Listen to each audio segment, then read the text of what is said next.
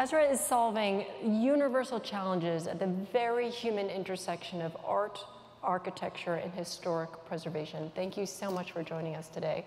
I had so much fun learning uh, about your work, and it made a deep impression on me. And I watched some of our lectures. The students here who are lucky enough to take your course, I really I can't recommend it enough. So um, to start with, there's, there's going to be some photos that are going to be revolving. Can you give us some context on what we're going to be seeing? So we're going to see some images from Al-Azraq refugee camp in Jordan. Uh, this is the second largest camp in the country, uh, and it houses around 40,000 Syrian refugees, exclusively Syrian refugees. It's the second uh, built camp in the country. Um, you know, the largest one has around 90,000 people, and these people have been living there for years in this particular camp since 2014. And you see images from um, scenes from the camps, but also some of the inventions that people are making to alleviate uh, the humanitarian aid failures, and some of the work we have done together with the people, residents of the camp, uh, with the Future Heritage Lab. I think it's really helpful to have these, these pictures, and I know you'll integrate more of them into your, your stories. But one of the things that I really took away from studying your work is that you really have advocated of solving with people rather than for people. That we're sitting here in Cambridge and we can identify what the problems are, but that you really need to incorporate the humanity and the culture and the full people that you're solving for. Exactly. You know, when we are working with these fragile communities, often I mean, you, you want to, you have these best intentions, right? But sometimes, as we know, best intentions might not lead to best solutions. Or, you know, we outsiders are bringing uh, power dynamics, biases in that might perpetuate some of the power dynamics, colonial dynamics in these environments. And it is really important to be aware of that, right? So for us coming into this uh, region was important to say, okay, how do, where can we, uh, we be most useful? And that is not to just bring our knowledge on top of these people, but learn from them and work together uh, to find solutions where we can mix skills that everyone brings to the table, learn from each other, uh, and then you know multiplies those voices together. One of the one of your lectures, you talked about how um, people in their like countries will send things to refugee camps that are beneficial to them to send. So you talked about how Amsterdam was sending bikes to the refugee camps and how in other countries would send clothing, but there was a problem with what they were sending. Exactly. I mean, imagine uh, what used to be like a humanitarian aid form can be, you know, reused, recycled bikes from Amsterdam's canal or clothing donations that we think great. There's all this second-hand uh, clothing that no one is using. Maybe people can use it there. It's for free. But in fact, you know, when you look at it, it's trash. We are sending them out trash, and partly this trash is also absolutely culturally inappropriate.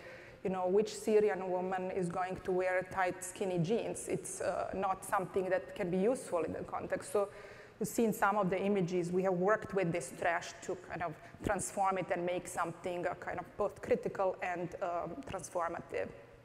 Um, in this conference, we, we talk a lot about innovation, and you just wrote this really remarkable book about innovation that was going on in these refugee camps.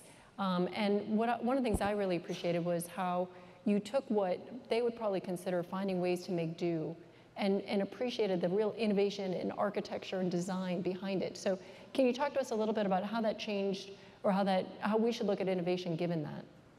So when you look at the ways in which people in the camp, and look at this uh, um, fountain, for example, this is made out of plastic buckets, made out of trash, to create a feeling of sound and remind people of their home, and also alleviate some of the unbearable heat that you find in these camps. Um, it is a kind of, not necessarily solution to something, but it addresses a specific need, a need that is not recognized by our um, parameters of what constitutes humanitarian, um, like human needs in the humanitarian design.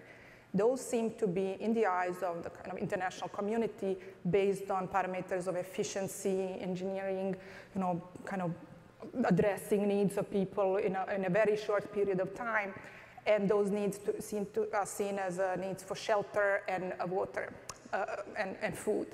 But when you see what people are making in the camps, you see that they are making cultural artifacts, inventions, innovations that are talking about those cultural and emotional needs that are actually essential human needs. And I think we ultimately need to like, reevaluate the way we, uh, we think about aid in this context, and we can learn them best from those communities affected by conflict and crisis. And our last, last um, question, or what are some of the examples of innovation that you saw, these cultural things that really informed so much of your work of saying we need to look at not just as this as, as a person that needs something, but as a human who brings their culture and their tradition and their identity, identities with them.